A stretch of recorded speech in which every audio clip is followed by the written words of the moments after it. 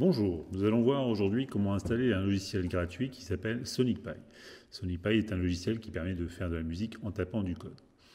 La toute dernière version, la 3.2, est sortie le 28 février 2020. Donc nous allons voir comment installer ce programme qui est gratuit et disponible pour tout le monde.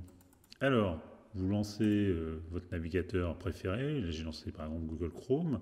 Je vais interroger le moteur de recherche Google et je vais taper Sonic et j'appuie sur Entrée. Le site officiel, c'est sonicpipe.net. Donc je vais cliquer dessus. Donc on me propose de traduire cette page puisque la page est en anglais uniquement. Alors je vous rassure, le, logiciel lui-même est disponible en différentes langues, dont le français. Donc si je clique sur SonicPy, ne vous inquiétez pas du nom sécurisé, ça n'a pas trop d'importance vu que vous ne donnez pas d'informations vous concernant sur ce site. C'est bien le site officiel sonicpy.net. Donc ici, je vais pouvoir descendre dans la page et choisir le système d'exploitation qui m'intéresse. Donc là, je supposais que vous voulez installer sur un ordinateur qui marche sous Windows. Donc je vais cliquer sous Windows. Et là, je vais avoir plusieurs versions.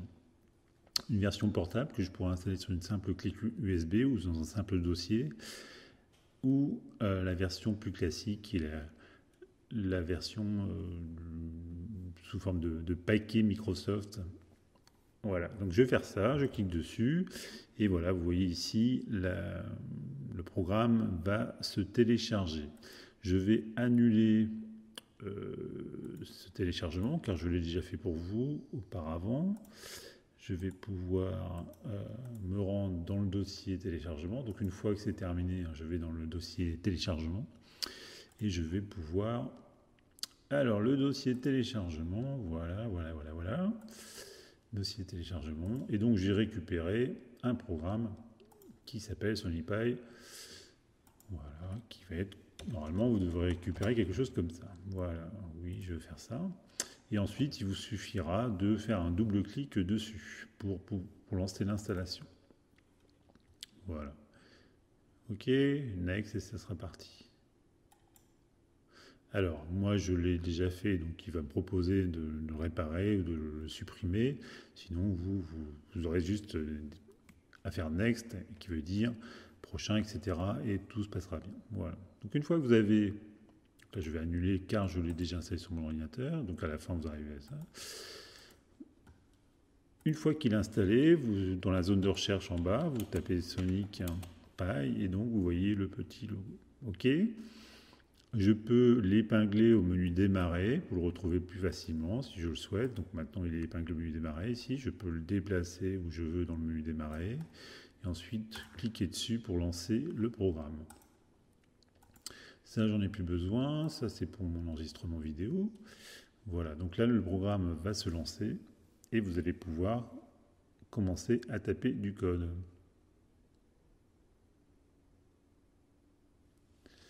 Voilà, donc ici, comment ça se présente? Ça se présente de la façon suivante, c'est que vous avez des, ce qu'on appelle des buffers, 0,1, 0,2, de 0 à 9, donc ça fait 10 buffers. Donc les buffers, on peut considérer que c'est des pages blanches. Donc si je vais sur le 2, il va falloir que je tape ici des instructions. Alors je ne peux, pas lui dire joue, euh, joue, moins, joue un Do. Voilà, ça n'a pas, de sens pour SonicPy. Donc SonicPy, il y a des, instructions bien précises. Le mieux pour commencer dans SonicPy, c'est de suivre l'aide voilà, qui se présente ici. Et vous, suivez les petites étapes, hein, les unes après les autres, et vous allez découvrir comment ça fonctionne. D'accord? Si vous voulez vérifier que, que comment euh, que ça fait du bruit, donc vous voyez, vous avez vos premiers bips, et donc vous, vous avez ici l'instruction. Donc si je fais play 70, voilà, play 70, je reviens ici, j'efface, play 70 et je lance run qui veut dire exécuter, hein, exécuter le code du buffer courant. Et là, normalement, vous devez entendre un bip. Voilà. OK Donc c'est bien de jouer euh, comme ça. Maintenant, ce qui serait mieux, c'est que je puisse euh, me référer à des noms de notes. Par exemple, je joue moi le Do. Alors le Do, il va pas être mis en français, il va être mis en anglais. Donc le Do, c'est le C. Après, sur un clavier, vous avez différents Do. Vous avez des Do graves et des Do aigus. Le Do le plus grave, ça sera le C0. Le Do le plus aigu, il me semble que c'est euh, quelque chose comme C8 ou une chose comme ça. D'accord? Donc si je fais ça, on y va. Oh là là, ça fait un petit peu... Ça vrille un peu les oreilles. Ici, je vais mettre un, hashtag, enfin un dièse, et ça c'est un commentaire. Donc ça veut dire que cette ligne-là ne sera pas exécutée. Mais ça vous permet de désactiver du code, parce que vous n'avez pas envie de l'entendre, et puis, euh, voilà. Alors là, pour pas que les notes se jouent, jouent ensemble, il faut que je mette une autre instruction qui est slip. Voilà. Donc là, si je fais ça, on va essayer de faire du copier-coller parce qu'on est un peu feignant. Voilà. Alors, c'est pas une question de feignantise, hein, c'est aussi une question de d'éviter de faire des fautes de frappe. Voilà. Donc on peut changer C1. OK. Alors là, on n'en a pas tellement entendu parce que c'est tellement grave qu'on n'entend pas. Donc on va commencer plutôt à à C3, donc il y a un Do, le, troisième Do de, sur un clavier, ça c'est du milieu de clavier, et ensuite ça sera un Do plus aigu. Ok, donc là nous avons fait différents Do. Alors, on peut aussi euh, choisir des, instruments, parce que bon là, oui, on a un instrument, donc pour choisir l'instrument, c'est euh, l'instruction use synth, qui veut dire utilise un synthétiseur. Alors, il ne faut pas vous attendre dans ce NIPA à avoir des sons de guitare euh, classique, de violon. C'est un, les, instruments qui sont proposés sont des, sont des synthétiseurs numériques, on va dire. Et voilà. Donc, vous avez un son qui se rapproche quand même du piano, qui, qui s'appelle euh, de façon assez intelligente piano. Voilà, donc maintenant si je fais...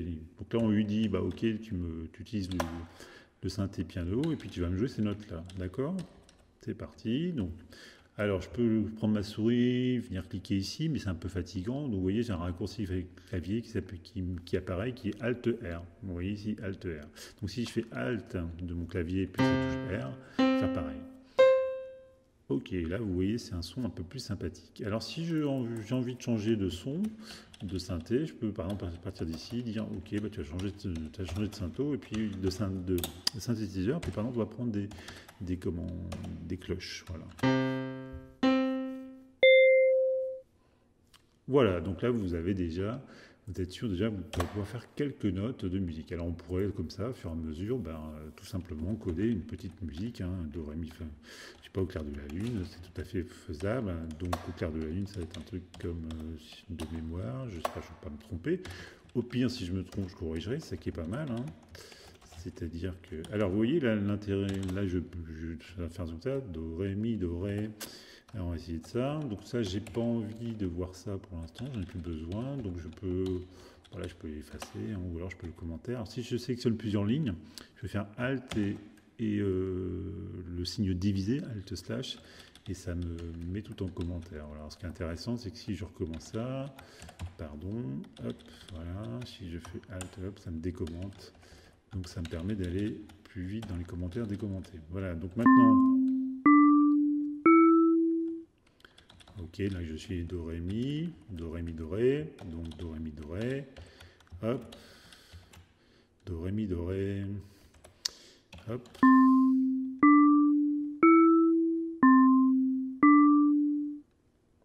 Ok, c'est le début de Au clair de la lune, etc. Voilà, donc on va s'arrêter là pour, l'instant. Et puis bah, j'espère que ça vous a donné envie de l'installer et de commencer à voir les premiers vivants. On ira plus loin plus tard.